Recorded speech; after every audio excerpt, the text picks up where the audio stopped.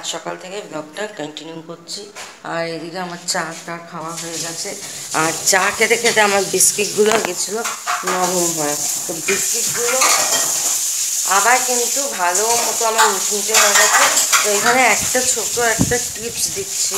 বিস্কিটগুলো আমার যখন ঢেলেছিলাম তখন কী কারণে নরম হয়ে গেছিল যায় না। বিস্কিটগুলো যদি আমি প্রথমে ফ্রিজে রেখেছিলাম, আমি শুনেছি ফ্রিজে রাখলে নাকি শক্ত হয়, কিন্তু শক্ত হয়েছিল, কিন্তু খুব একটা ভালো করে হয়নি। তো আমি কি করেছিলাম, এইটাকে আমি মাইক্রোওভেনে একটা থালার মধ্যে বিস্কিটগুলো দিয়ে মাইক্রোওভেনে এক মিনিট আমি মাইক্রোওভেনটা চালিয়ে নিয়েছি। Forty five minutes to forty five second to one minute তো তারপরে বিস্কিটগুলো সুপার ক্রিস্পি হয়ে গেছে। তো এখন বিস্কিটগুলো ঠান্ডা হওয়ার পরে আমি কৌটোতে ঢেলে নেব। এটা হচ্ছে সব থেকে আনন্দের বিষয়। মানে বিস্কিট এবার হয়নি। জানি না তমগ্ন কী আনবে বাজার থেকে। তো একটা কনফিউশনের মধ্যে আছি। আর উঠে গেছি অনেকক্ষণই, কিন্তু বাজে এখন সাড়ে নটা। সকালেও কি খাব সেটারও এখনও কিচ্ছু ঠিক হয়নি। চলো কি খাই দেখি। আর এই যে শ্রেয়াংশ এক্ষুনি ঘুম থেকে তুমি ঘুমাবে আরও? হুম? শ্রেয়াংশ এখন আরও ঘুমাবে ওর। মানে আজকে ওর বাবা যতক্ষণ না আসবে ও ঘুমিয়েই থাকবে। ওর বাবা আসলে একেবারে ফোনটা নিয়ে ও তারপরে ও উঠবে।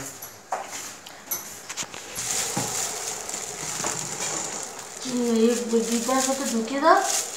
আরে ঠান্ডা গো। ঠান্ডা গেলে তো আরও নরম হয়ে যাবে। না ঠান্ডা হলে তবেই ঢোকাতে হবে। আর কালকে এখানে বাজার থেকে এনেছিলাম কয়েকটা সবজি। তো কয়েকটা সবজি শাকগুলো ঢুকিয়ে দিয়েছি।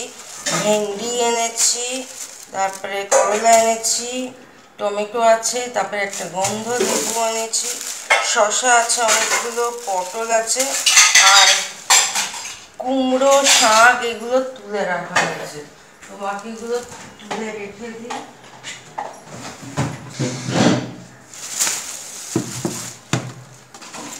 পুঁই শাক এনেছিলাম। পুঁই শাক অনেকদিন খাওয়া হয় না, তাই শাক এনেছি আর লাল শাক তো সবসময়ই আসে কারণ শ্রেয়াংসের জন্য। শ্রেয়াংস কচু দিয়ে খাই ও কি খেতে হয়? কচু দিয়ে। কচু? হ্যাঁ শুনিনি পুঁই শাক কচু দিয়ে খেতে হয়?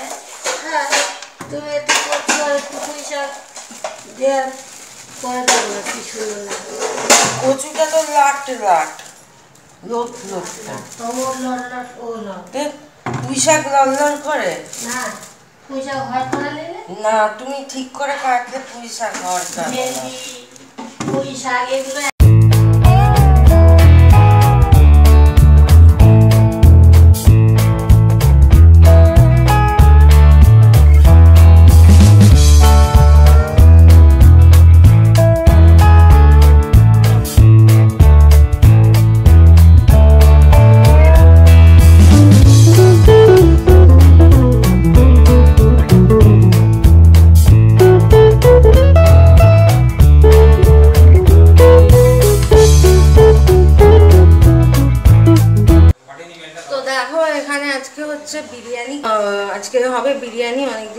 তো এখানে মাটন আছে মোটামুটি ছশো মতো।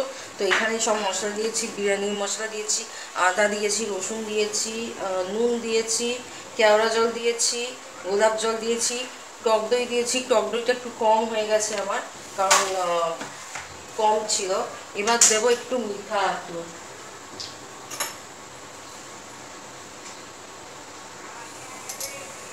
আহ, এক ফোঁটা মতো মানে যেরকম কোয়ান্টিটি সেই অনুযায়ী দেবে। আর এটা এবার একটুখানি তেল দিয়ে মাখিয়ে নিয়ে এটা মোটামুটি এক ঘণ্টা ম্যারিনেট করে রাখতে হবে। এক ঘণ্টার মতো ম্যারিনেট করে রাখতে হবে। এর মধ্যে আমি চালটা ভিজিয়ে আবার পরে বলছি একটু চা করেছিলাম চাটা খেলাম। আর এখানে দেখো এই যে বিরিয়ানি রাইসটা এক্ষুনি হয়ে গেছে। তো এটা সেভেন্টি পার্সেন্ট কুক হয়েছে। সেভেন্টি টু এইটটি পার্সেন্ট আর এখানে আমি বেরেন্সটাও ভেজে নিয়েছি। তো বেরেস্তাটা আজকে একটু নরম মতো হয়ে গেছে। তো যাই হোক বাড়িতে খাব, কোনো টেনশন নেই। আর এই যে আলু ভেজে নিয়েছি, আলুগুলো গোটা গোটাই দেবো, কারণ আমি প্রেশারে দেবো। সাদা তেল দেবো, আর অল্প ঘি দেব। ঘি আর সাদা তেল মিশিয়ে আমি করব। কারণ ঘিটা দেব, ঘি এমনিতেও মাটনের সাথে খুব ভালো। মানে কম্বিনেশনটা ঘিটা দিলে মাটনের মানে কি বলব টেস্টটা যেন আরও ডবল হয়ে যায়। ওই জন্য এখানে হাফ হাফ ইকুয়েশনেই দেবো। হাফ সাদা তেল দেবো হাফ ঘি দেবো। তো আর তেলটা বুঝে দেবে। তোমার মাটনটা যদি চর্বিওয়ালা থাকে তাহলে কিন্তু অনেকটা চর্বিটা গলে গিয়ে অনেকটা তোমার তেল বেরোবে। তো তোমার মাটন কীরকম সেই অনুযায়ী তোমাকে তেলটা দিতে হবে।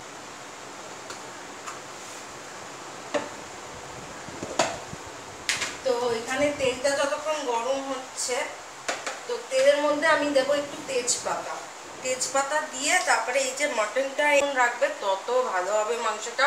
তত এর ভেতরে মশলাগুলো তুলবে আর খেতেও কিন্তু ভালো হবে। কিন্তু আমার যেহেতু টাইম নেই, ওই জন্য বেশিক্ষণ রাখতে পারিনি।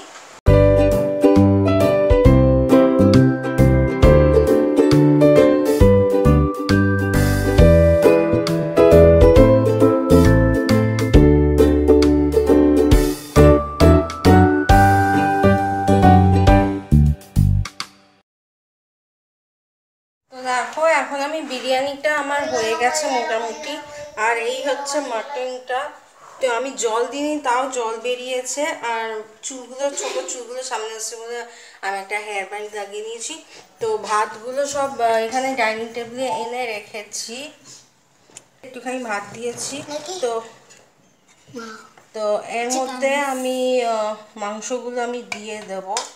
আর ঝোলটাও আমি দেব কারণ ঝোলটা অনেকটাই বেড়ে গেছে তা আমি মারিয়েছি তাও আর হচ্ছে না। তো একটা একটা করে দিয়ে দিই। এদিকে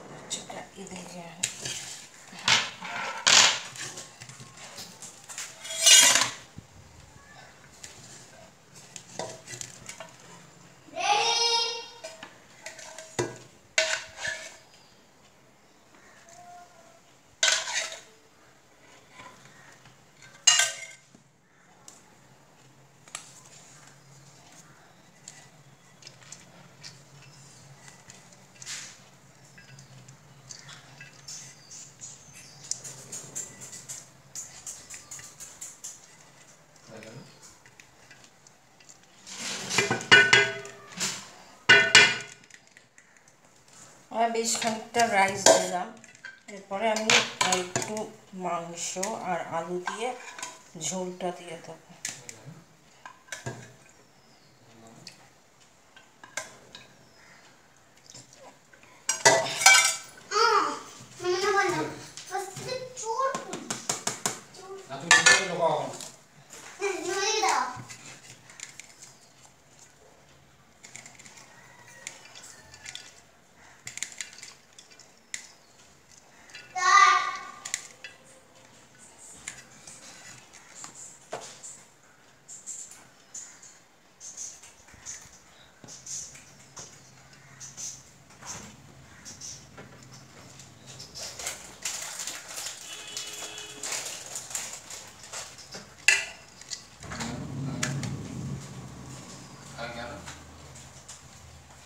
এর ওপরে একটুখানি বিরিয়ানি মশলা দিয়ে দেবো।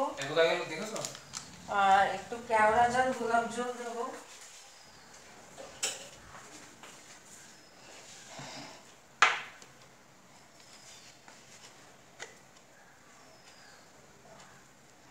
গোলাপ জলটা বুঝে সুজে দিতে হবে কারণ বেশি হয়ে গেলে কিন্তু তেতো হয়ে যাবে। আর যেহেতু আমার এখানে ঝোলটা অনেকটাই আছে তো এতে ভাতের সাথে আমার মেকআপও হয়ে যাবে। তো অতটা আমার লাগবে না।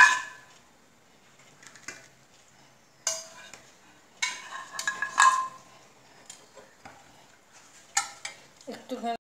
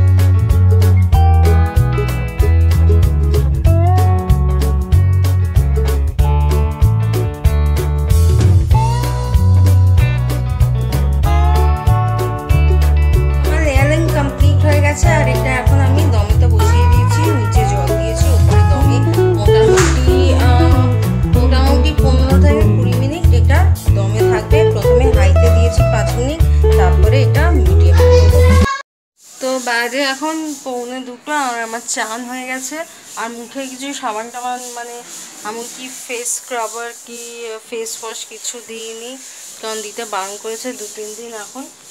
আর চুলটা একটু ভিজিয়ে নিয়েছি কারণ কালকে চুলে খুব মানে ক্রিম ফেশিয়াল করার সময় ক্রিম টিম লেগে গেছে। জন্য চিকচিক করছিল। শ্যাম্পু করিনি। কালকে শ্যাম্পু করব। আজকে চুলটা এমনি জল দিয়ে ভিজিয়ে চান করেছি। আর ওদিকে রান্না বান্না হয়ে গেছে, এখন খাওয়া দাওয়ার পালা। তমগুলো চানে গেছে, ও চান করে আসুক, আর ততক্ষণ আমি শ্রেয়াংশকে খাইয়ে নেব, আর এদিকে স্যালাডটা কেটে নেব। তো চলো, আবার বিকেলে একটুখানি বাড়ি যাওয়ার প্ল্যান আছে, জানি না হবে কিনা। এদিকে কিন্তু আকাশে মেঘ গুরুম গুরুম করে আরম্ভ করে দিয়েছে। জানি না, যাব কি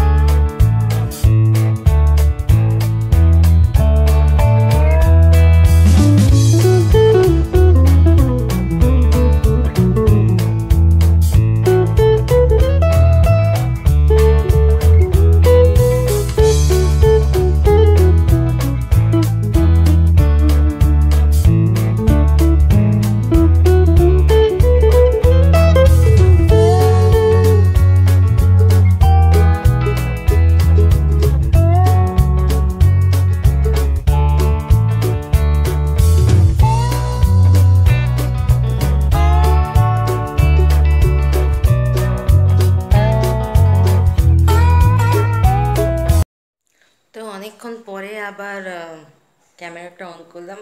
খাওয়া দাওয়ার পরে খাওয়া দাওয়া যখন শ্রেয়াংশকে খাইয়ে যখন আমরা খাবার নিই, এত বিদ্যুৎ চমকাচ্ছিল এত এত বিদ্যুৎ চমকাচ্ছিল যে আমি ভিডিওটা অন করতে পারিনি। এমনকি তখন একটু খাওয়া দেখাবো সেটাও করতে পারিনি। তো খাওয়া দাওয়া করে নিয়েছি, আর এত বৃষ্টি পড়ছিল, কারণ আমাদের মাথায় প্ল্যান ছিল যে ওই বাড়িতে যাওয়ার। তো সব মানে ঘেটে গেল একেবারে। তো কী করে যাব আর এরকম বৃষ্টির মধ্যে এই ওয়েদারে তো এখন আবার তারপরে খেয়ে দিয়ে একটুখানি শুয়ে পড়েছিলাম। তো ঘুম তো আমার হয়নি, কারণ পায়েতে আর কোমরে প্রচণ্ড ব্যথা করছিল, তো এর জন্য ঘুমটা আমার হয়নি। তো এখন বাজে বিকেল পৌনে পাঁচটা। পৌনে পাঁচটা বাজে। এখন অবশ্য আর ইয়ে হচ্ছে না।